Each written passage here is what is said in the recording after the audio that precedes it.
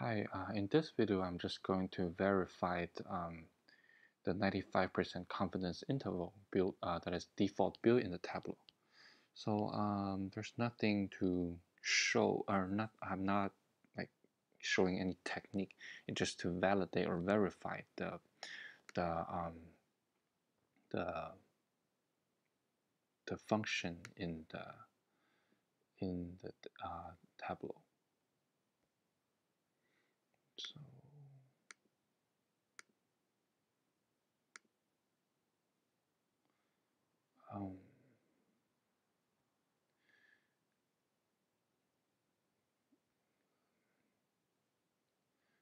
Think I need to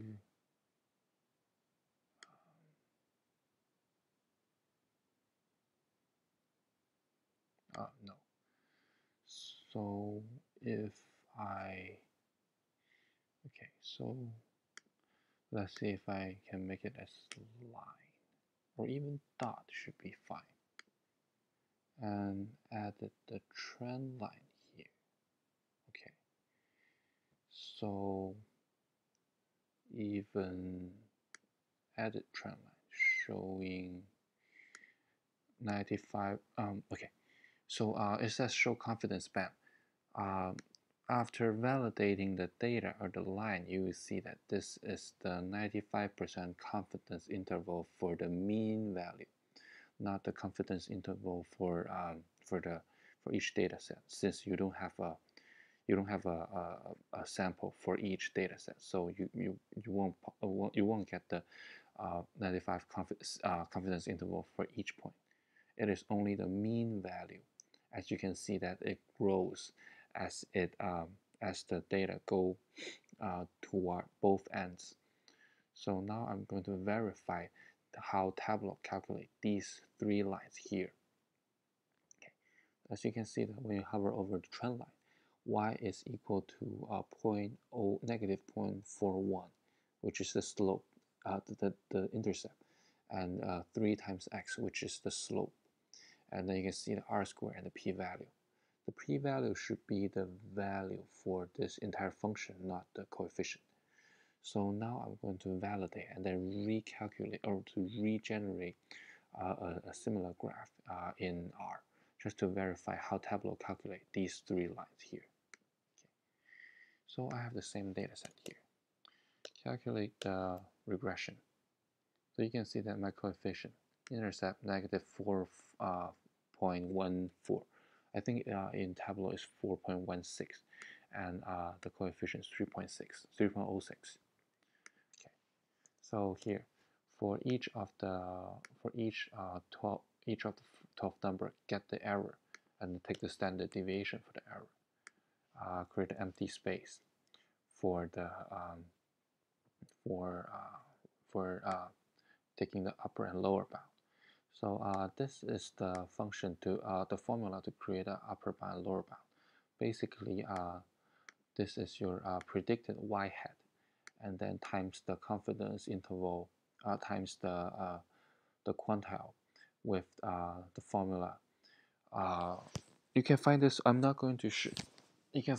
This is the typical function to calculate the the upper lower bound for 95% confidence interval for the mean value. So um, you can just uh, find it online if you're not if you want to uh, have a deeper understand. But uh, then there should also be a proof or how you can derive this function. So um, and then calculate the upper bound and lower bound. And then you can there's also well uh, there's also a, a built-in function called uh, predict uh, confidence interval in R. So that you can also you can also check the lower bound upper bound that uh, without with so this uh, this part I manually type it in. Uh, so I'm doing the calculation manually.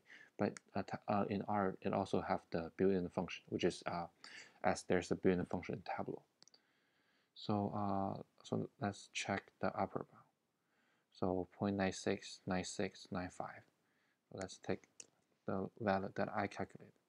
Okay, so let's check the last. So you can see that uh, this is how, at least this is how uh, R, the built-in function in R to create a 95% confidence interval.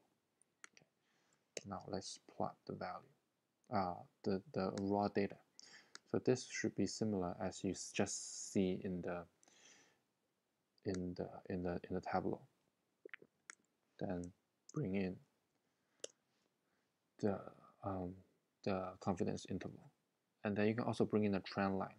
So which the trend line should be the summary here. Um, so let's take a look.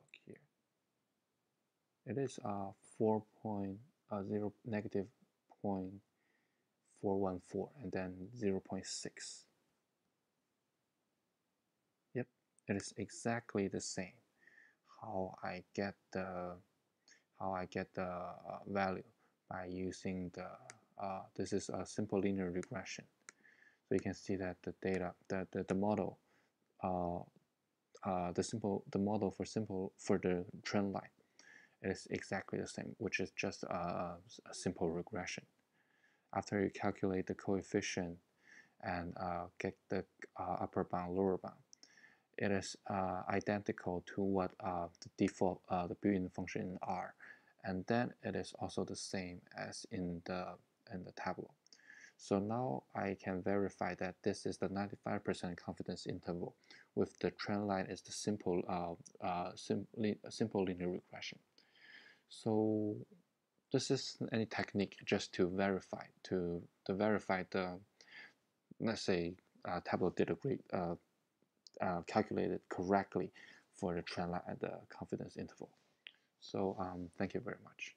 If you are interested in the in the in the in the formula, you can always Google for the 95% confidence interval um, as described in the formula. Thank you very much.